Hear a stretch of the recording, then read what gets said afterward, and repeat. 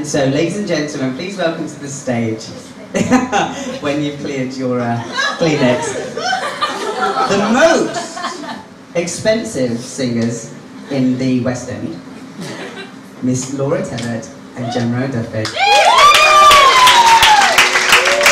Hurry up, guys, I've got an audition, tell me.